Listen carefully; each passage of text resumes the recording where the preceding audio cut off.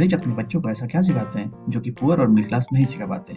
यह कहानी है रिच डैड पुअर डैड और रॉबर्ट की।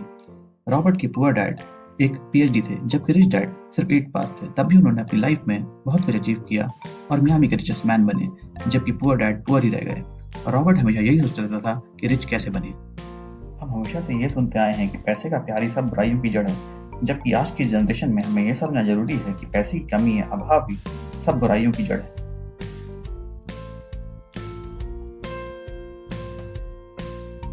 पूर हमेशा अपने बच्चों को यह बताते हैं कि हम महँगी चीज़ नहीं खरीद सकते। जबकि रिच हमेशा अपने बच्चों को यह सलाह देते हैं कि सोचो यह महँगी गाड़ी या सामान हम कैसे अफोर्ड कर सकते हैं। ऑथर ऑफ़ द बुक कहते हैं कि we can not afford it ऐसा कहकर हम अपना थॉट प्रोसेस ही रोक देते हैं और प्रोग्रेसिव एज खो बैठते हैं।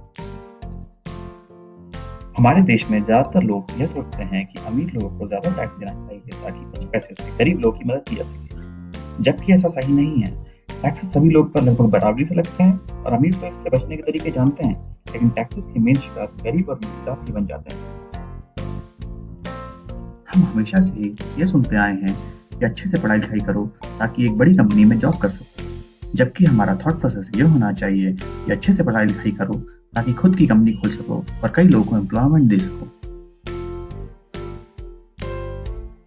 कई बार लोग यह एक्सक्यूज देते हैं कि मेरा परिवार मेरे बच्चे मेरे अमीर बनने की राह में सबसे बड़ी रुकावट है। जबकि हमें कुछ इस तरह से सोचना चाहिए कि हमारा परिवार, हमारे बच्चे ही हमारा सबसे बड़ा सपोर्ट सिस्टम है, जिनके लिए हमें और अमीर बनना चाहिए ताकि उनको एक वेल डिजर्व लाइफ दी जा सके। ज़्यादातर लोग हमेशा अपने बच्चों को यह सिखाते हैं कि पैसे को हमेशा तिजोरी में बंद रखो। सेफ़ रखो और पैसे के साथ कोई रिस्क मत लो। जबकि पैसा तिजोरी में रखे रखे सिर्फ़ अपनी वैल्यू खोता है। हमें पैसे को कंस्ट्रक्टिवली मैनेज करना आना चाहिए। हमें यह सीखना चाहिए कि पैसे को शेयर प्रॉपर्टी बिज़नेस में कैसे इन्वेस्ट करें, ताकि हमारे लिए हमारा पैसा हमसे ज़्यादा मेहनत करे। कई लोग को यह लगता है कि जिस घर में वो रह रहे हैं, उनका सबसे बड़ा एसेट है, जो कि सही नहीं है। जिस घर में हम रह रहे हैं, वो तो एक लाइबिलिटी की तरह है।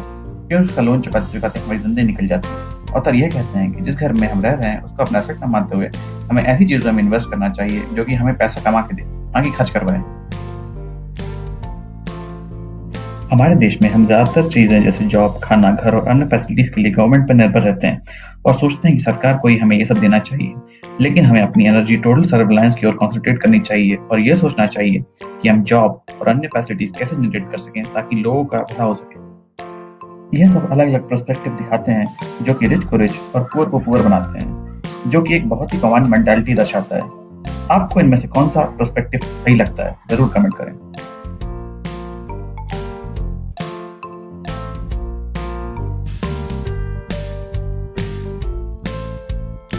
इस कहानी में रॉबर्ट ने बचपन में डिसाइड कर लिया था कि उसे कौन सा पाथ फॉलो करना है। रॉबर्ट को रॉबर्ट फ्रॉस्ट की इन लाइनों से बहुत प्रेरणा मिलती थी। Two roads diverge in a wood and I took the one less traveled by, and that has made all the difference. Thanks for watching, dear friends. ये टीचिंग में मैंने आपको रॉबर्ट जे कियोसाकी की book rich dad poor dad से बताई है kindly अपना feedback दें ताकि मैं ऐसे और इंटरेस्टिंग और हेल्पफुल वीडियो बना